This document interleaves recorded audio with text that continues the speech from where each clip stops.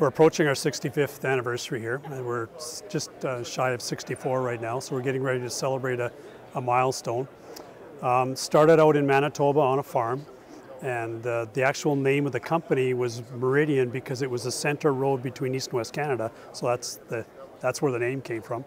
We now have uh, seven plants. Uh, we have Winkler, Regina, Camrose, Alberta, uh, Lethbridge, Cambridge, uh, Ontario, and Storm Lake, Iowa. We have a plant down there as well. The grain storage handling, because we, we do both with you know augers, conveyors, and, and the bins. So our, our main market is Canada, number one. Number two would be uh, US. Number three would be Australia. We do lots of business in Australia as well.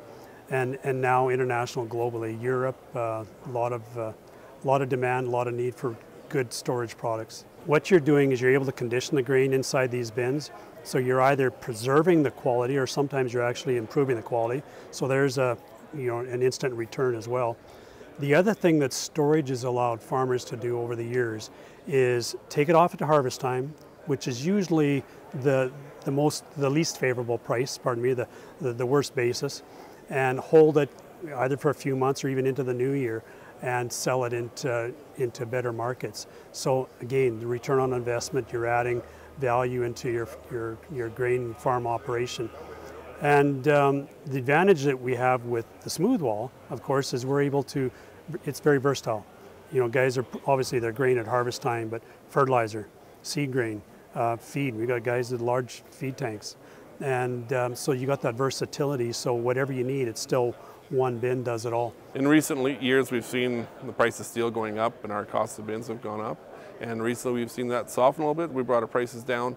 But the investment on the farm that you get from smooth wall bins is, is unreal. Like many farmers are saying that they bought bins 10, 15 years ago, they're selling their farms and their bins have appreciated and they're getting more money for them now at the auction than they did back when they uh, paid for them. Seed security, um, keeping bugs out, keeping it pure, um, things like that. It, smooth wall is the best way to go. The powder coat is the best best finish out there possible and it just stands up year after year. Uh, we got bins, we started powder coating over 20 years ago and we got farmers that are telling us the powder coat is still still perfect on their on their bins. The hopper bins are, are handy on a farm, they're good on a farm. You don't have to shovel, there's no sweeping, the clean out is easy.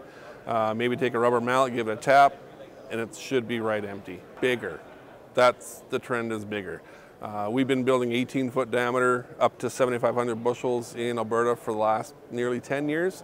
We've now gone to 20 foot bins, uh, up to 10,000 bushels. They're managing their input costs because input costs are just one of the things that's just uh, gone through the roof. They're, it's nice to have grain prices right now anyway at, favorable numbers, but if inputs uh, exceed that, it, it's not a win. So guys are buying the fuel at uh, a favorable time. Two reasons. Number one, the price might be right.